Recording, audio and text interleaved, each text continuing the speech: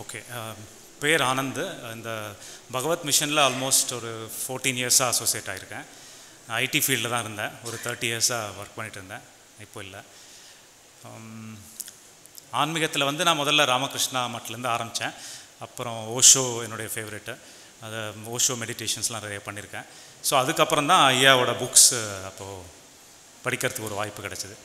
So முதல்ல வந்து எனக்கு படிக்கப்புறம் சும்மா இரு அப்படின்றது தான் அதோட கரு அப்படின்ற மாதிரி அதோட கோர் மெசேஜ் அதுதானே. அது ஆல்ரெடி படித்தாச்சு அவ்வளோதான் எவ்வளோ பேர் சொல்லிட்டாங்க. அதே தானே அப்படின்ற மாதிரி ரொம்ப அசால்ட்டாக இருந்தது.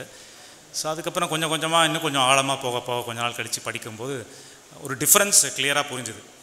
அந்த டிஃப்ரென்ஸ் என்னென்னா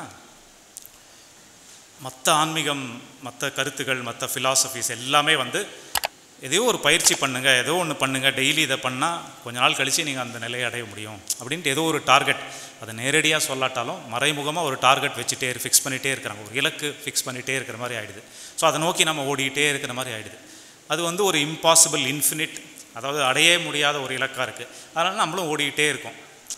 பட் இது ஐயாவோட கருத்து எப்படி இருந்ததுன்னா எதுவுமே பண்ண வேணாம் அப்படின்ற ஒரு டோட்டலி ஆப்போசிட் டைரெக்ஷனில் இருந்தது.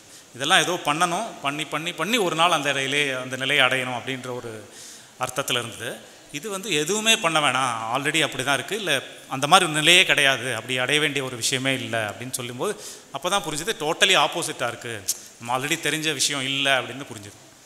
அப்புறம்தான் வந்து அது வரைக்கும் வந்து சும்மா மேலோட்டமாக படித்தேன் ஒன்றும் பெருசாக இன்ட்ரெஸ்ட் இல்லை அப்போது அதுக்கப்புறம் தான் கொஞ்சம் இன்ட்ரெஸ்ட் வந்தது. ஓ இதில் வேறு ஏதோ விஷயம் இருக்குது புதுசாக ஏதோ சொல்கிறாரு அப்படின்ட்டு தான் அப்புறந்தமாக ஆழமாக படிக்க படிக்க படிக்க தான் ஓகே என்ன விஷயம் இருக்குது அப்படின்னு சொல்லி அதை கொஞ்சம் டீட்டெயில்டாக புரிஞ்சுக்க முடியுது அப்போ தான் புரிதல் வந்தது. ஸோ எதுக்காக சொல்கிறேன்னா அந்த மாதிரி நீங்கள் இதை ஸ்கிப் பண்ணிடக்கூடாது இதை வந்து மிஸ் பண்ணிடக்கூடாதுன்றேன். ஆல்ரெடி இது கேட்டது தானே. ஆன்மா இது சாட்சி ஞானம் முக்தி இதெல்லாம் ஆல்ரெடி கேட்ட விஷயந்தான் எங்கள் வீடியோஸில் பார்த்துருப்பீங்க புக்ஸில் படிச்சுப்பீங்க ஆனால் இது டோட்டலி ஆப்போசிட் டைரெக்ஷனில் இருக்குது அப்படின்றத தெரிஞ்சுக்கோங்க. அவங்க சொல்கிற அந்த சொல்கிற விஷயத்தை இங்கே சொல்லவே இல்லை. அதனால் நீங்கள் கொஞ்சம் டீட்டெயில்டாக இன்னும் கொஞ்சம் ஆழமாக இதை படித்து பார்த்து கொஞ்சம் அதுக்குன்னு டைம் ஃபோக்கஸ் கவனம் கொடுத்து படித்து பார்த்தீங்க இல்லை வீடியோவில் பார்த்தீங்கன்னா உங்களுக்கே புரியும் என்ன சொல்ல வரோம் அப்படின்ட்டு. ஏன்னா இந்த தியானம் பயிற்சி யோகா மூச்சு பயிற்சி மந்திர ஜபம் இந்த மாதிரி நிறைய விஷயம் இருக்குது இவ்வளோ சொல்கிறாங்க இல்லையா? ஸோ இதெல்லாம் நான் எப்படி பார்க்குறேன்னா இந்த ஒரு படத்தில் கூட வடிவேல் காமெடி ஒன்று வரும். கடவுள் கடவுளை காமிக்கிறேன்னு சொல்லிட்டு ஊருக்கு வந்து ஒரு ஊருக்கு வந்து எல்லார்ட்டையும் பணம் கலெக்ட் பண்ணிகிட்டு இருப்பான் கடவுள் எல்லோரும் உங்களுக்கு எல்லாருக்கும் கடவுளை காமிக்கிறேன் ஒரு நாள் அப்படின்னு சொல்லிட்டு.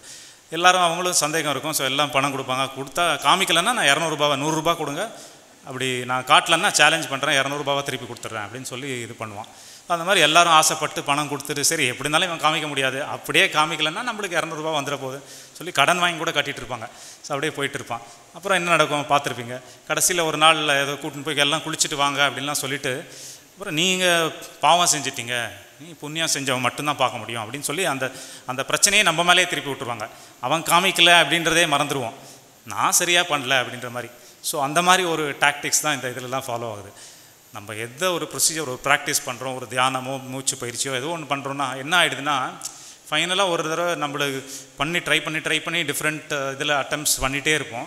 அப்புறம் ஒரு வழி ஒரு ஃபைனலாக ஆகும்போது அதை நம்ம சரியாக பண்ணல. குரு கரெக்டாக சொல்லி கொடுத்துட்டாரு.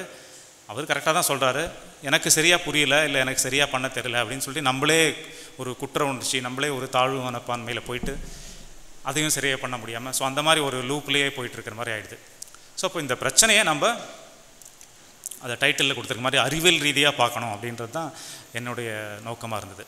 ஸோ இப்போ ஃபார் எக்ஸாம்பிள் ஐயா அந்த புக்கை படிக்கும்போது ஃபஸ்ட்டு ஒரு ரெண்டு ஒரு ஒரு நாலஞ்சு பேஜ் தான் படிச்சிருப்பேன்.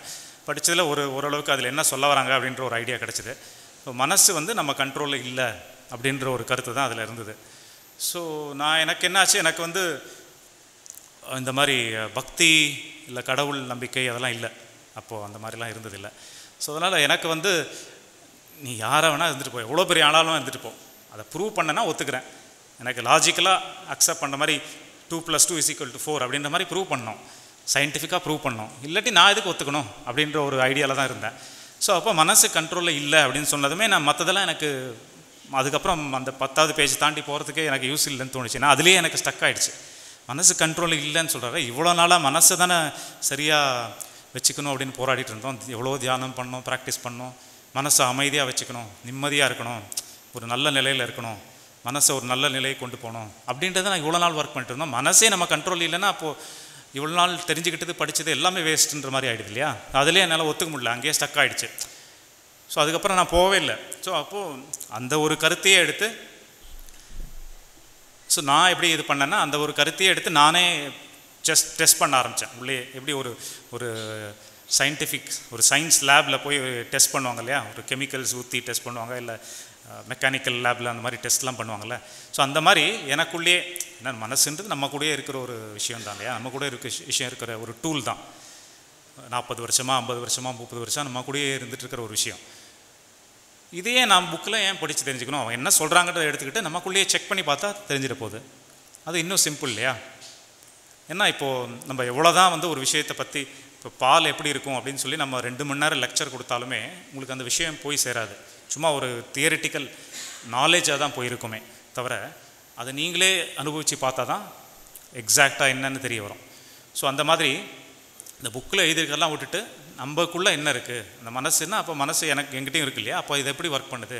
என்ன பிரச்சனை வருது? ஏன் எங்கள் கண்ட்ரோல் இல்லைன்றாரு? என்ன பிரச்சனை? அங்கே என்ன இதுன்னு டீட்டெயில்டாக ஆழமாக பார்க்க பார்க்க பார்க்க ஒரு லெவலுக்கு அப்புறம் ஓகே இதுதான் விஷயம் அப்படின்னு புரிஞ்சுது.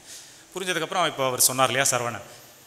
அதுக்கு முன்னாடி வந்து நிறைய ஒரு போராட்டங்கள் இருந்துகிட்டே இருக்கும் மனசுக்குள்ளே. ஏதோ ஒரு நாலஞ்சு பேர் பேசிக்கிற மாதிரி சேட்டரிங் ஒரு சேட்டரிங் இருந்துகிட்டே இருக்கிற மாதிரி ஒரு ஃபீலிங் எப்போ பார்த்தாலும் இருபத்தி நாலு மணி ஏதோ ஒரு கருத்து. ஒரு கருத்து வரும் அதுக்கு முரண்பாடாக இன்னொரு கருத்து. அப்படியே நமக்குள்ளேயே பேசிகிட்டு இருக்கிற மாதிரி ஒரு ஃபீலிங் புரிஞ்சுக்கிட்டப்புறம் எல்லா முயற்சியும் கீழே போட்டப்புறம் ஆட்டோமேட்டிக்காக அது டோட்டலாக ஒரு ஃபேக்ட்ரியை சண்டேலேயோ ஒரு இல்லை ஹாலிடேலேயோ ஷட் டவுன் பண்ணால் எப்படி இருக்கும்? டோட்டல் சைலன்ஸ் ஸோ அந்த மாதிரி ஒரு உணர்வு தான் இருந்தது. ஸோ அதுக்கப்புறம் தான் இதை புரிஞ்சுக்கிட்டு இது பண்ணேன். பட் இதில் முக்கியமான விஷயம் என்னென்னா நம்ம ரொம்ப காம்ப்ளிகேட் பண்ணிக்கிட்டு ரொம்ப மண்டையை பிச்சுட்டு யோசிக்க வேண்டிய விஷயமே கிடையாது. ரொம்ப ஞானம்னா என்னன்னு தெரிஞ்சுக்கணும் முக்தி. இன்ஃபேக்ட் எனக்கு இந்த இந்த புரிதல் வரும்போது வரத்துக்கு முன்னாடி ஞானம் அப்படின்ற வார்த்தைக்கு அர்த்தம் கூட தெரியாது. ஞானம் முக்தி இல்லை பிரவாகம் அதுக்கு அர்த்தம் கூட தெரியாது. இல்லை தாட் அண்ட் திங்கிங் அப்படின்னா என்னன்னு கூட தெரியாது. அதெல்லாம் அப்புறம் வந்து எனக்கு புரிஞ்சதுக்கப்புறம் அதை நான் எக்ஸ்பிளைன் மற்றவங்களுக்கு எக்ஸ்பிளைன் பண்ணணும் அப்படின்ட்டு கிளாஸ் எடுக்க போகும்போது ஓ இதை தான் இப்படி சொல்கிறாங்களா அப்படின்னு அப்போ தான் அவங்களுக்கு யாராவது கொஸ்டின் கேட்டாங்கன்னா சொல்லணும் இல்லையா கரெக்டாக ஸோ அதுக்காக நான் அப்புறம் தெரிஞ்சுக்க ஆரம்பித்தேன் மற்றபடி அதுக்கு முன்னாடி இதெல்லாம் எனக்கு தெரியாது. நான் தெரிஞ்சுக்கிட்ட ஒரே விஷயம் இந்த மனசு இல்லை என் எனக்குள்ளே இருக்கிற இந்த சிஸ்டம் வந்து என் கண்ட்ரோலில் இல்லை அப்படின்னு தெரிஞ்சுக்கிட்டேன். அதை நானே செக் பண்ணி செக் பண்ணி ஃபுல் ஸ்டாப் தெரிஞ்சுக்கிட்டு அதை கன்க்ளூட் அதாவது ஒரு முடிவுக்கு தெரிஞ்சுக்கிட்டு அவ்வளோதான் அதோட முடிவு அந்த முடிவுக்கு வந்துட்டேன். இது என் கண்ட்ரோலில் இல்லை அப்படின்னு முடிவுக்கு வந்தப்புறம் அது தன்னால் இயங்க ஆரம்பிச்சிருச்சு. அதை நான் அதுக்கப்புறம் அதை ஃபோர்ஸ் பண்ணுறதோ எதுவுமே பண்ணுறது கிடையாது. அது பாட்டுக்கு இயங்கிட்டு இருக்கு எனக்கு எந்த பிரச்சனையுமே கொடுக்கறதில்ல ஸோ அந்த மாதிரி ஒரு அணுகுமுறை தான் நம்ம பார்க்க போகிறோம் Müzik